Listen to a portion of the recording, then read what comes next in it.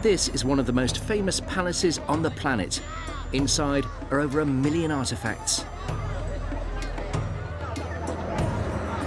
But 600 years on, these relics are looking their age. Restoring this palace is a huge job, which requires incredible craftsmanship and technology right out of a sci-fi movie. So, how do they do it? The Forbidden City in Beijing, the largest palace complex in the world and one of the most revered sites in all of China.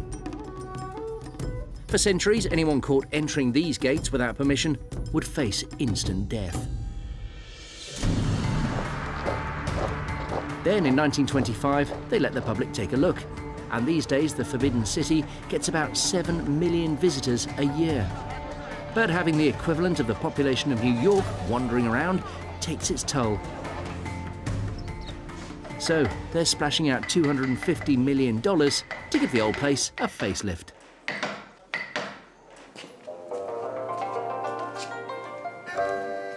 This team of restorers is working on some 300 year old wall surrounds.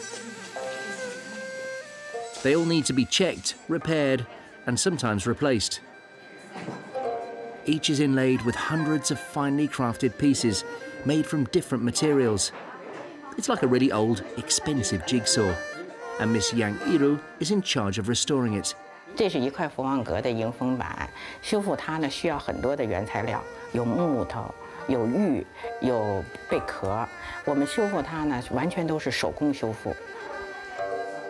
It's incredibly complex work, but Yang has it easy compared to Zhang Hongjie. He's an expert jade carver, a gem highly prized by the emperors, symbolizing immortality. 这是产自和和田的一块很珍贵的一个青玉，我们这个把它进行雕琢以后呢，呃，把它再重新放在缺失的格扇上。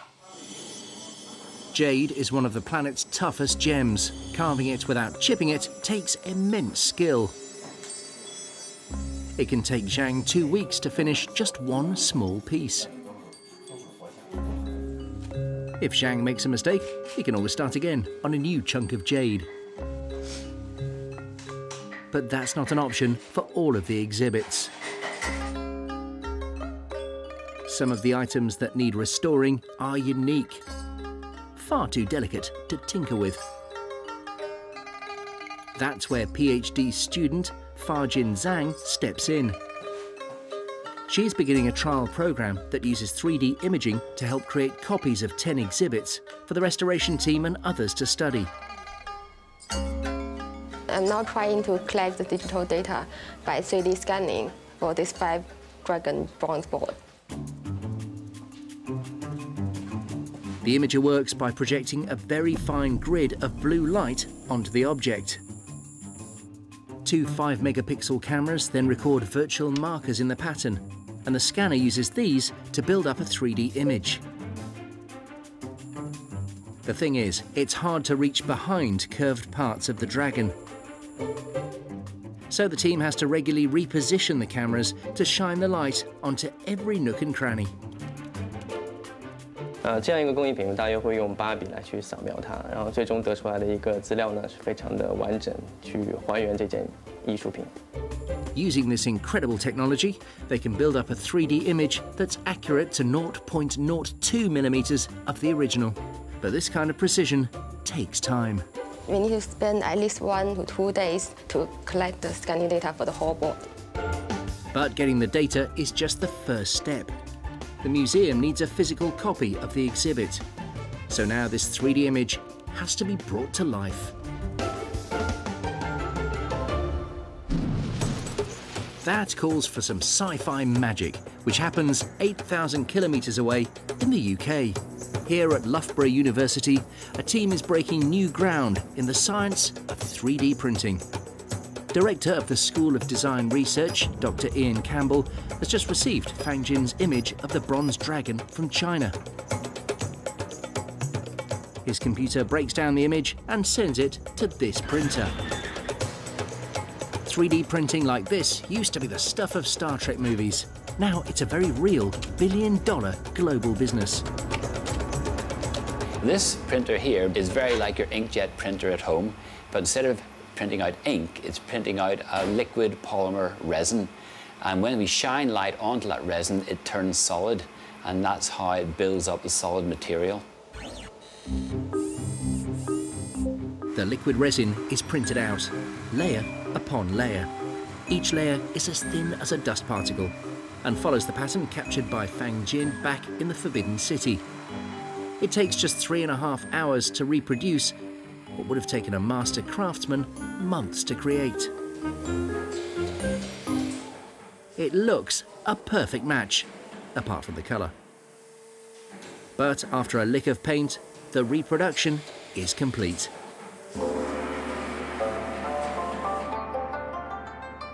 Back at the Forbidden City a few days later, Fang Jin receives the replica from the UK. It looks great. I'm pleased to receive. This copy will be used for research only. But thanks to the magic of 3D technology, even an emperor will be hard pressed to tell the difference.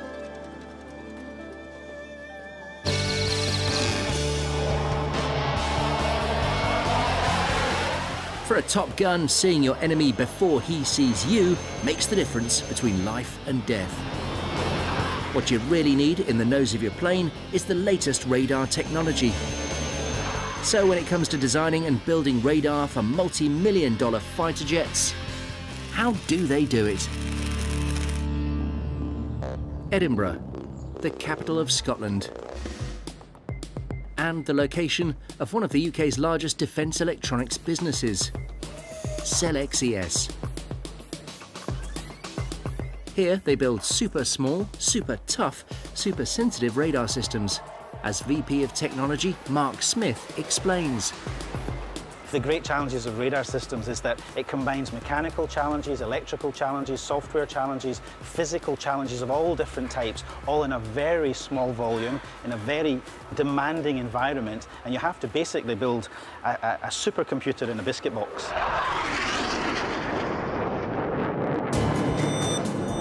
A radar works by sending out pulses of radio energy and measuring how long it takes for them to bounce off something and come back. Old-style radar relied on large, clunking, revolving dishes. Modern radar works the same way, but over the years the parts have got smaller, and smaller, and smaller. But to put the systems together, you need more than delicate fingers, as engineer David Scott explains.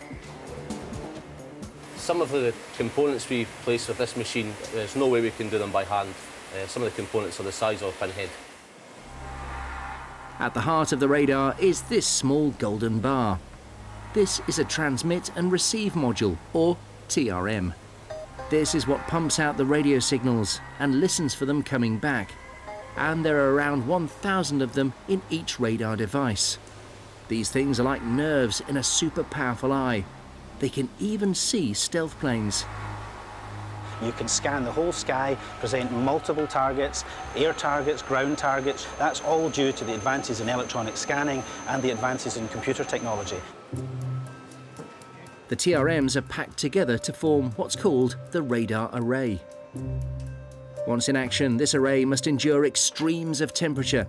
So it's tested in a machine that's like a combined oven and fridge. David Smith is the man at the controls. We have to make these radars work at the most extreme conditions, weather conditions. So whether it's at the Arctic or on the equator, they must work. If the TRM array survives David's hot and cold treatment, it's sent for test number two.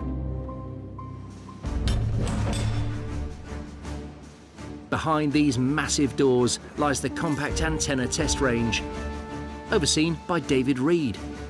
The idea of a compact antenna test range is that we can simulate much greater distances than the physical size of the room.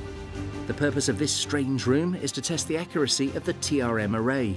In flight, the radar must be able to detect very small objects, like heat-seeking missiles, travelling at speed at a great distance.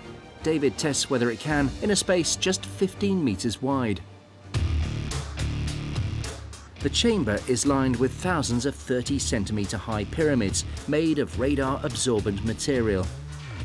Much as you want to test a torch in darkness rather than daylight, this material allows David to attach the array of TRMs to the top of this robot arm and measure their performance without unwanted interference. Stop! Each test produces dangerous amounts of radiation, so David guides the robot into the chamber and moves to the safety of his office. The room is designed such that all of the energy produced by the radar does not escape this room. So although we're very close, it is very safe. Old-fashioned radars emitted powerful signals that gave away a plane's location. With modern radar systems, the trick is to use as little power as possible to avoid detection, but not so little that you can't see the other guy coming. We're testing the radar to ensure that it has sufficient power, for example, to make sure that we can see them before they can see us. Once the radar has collected its information, the next problem is relaying it to the pilot in a way which helps him respond in a dogfight.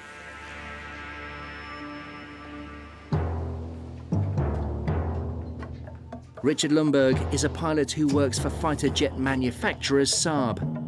Today he's testing the radar system in the latest combat flight simulator. Manual control. I'll tell the radar this is my prioritized target.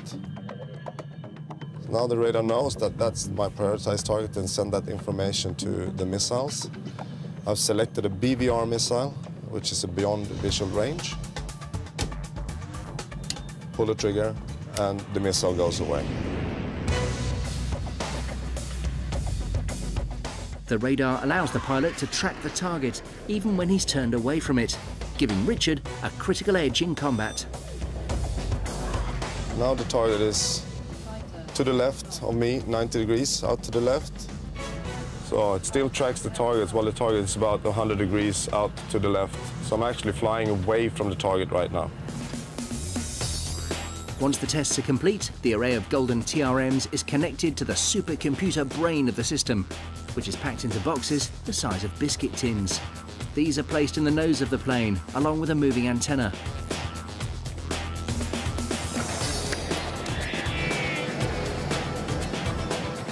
For the pilot, with the latest radar on board, it's like having the special powers of a superhero.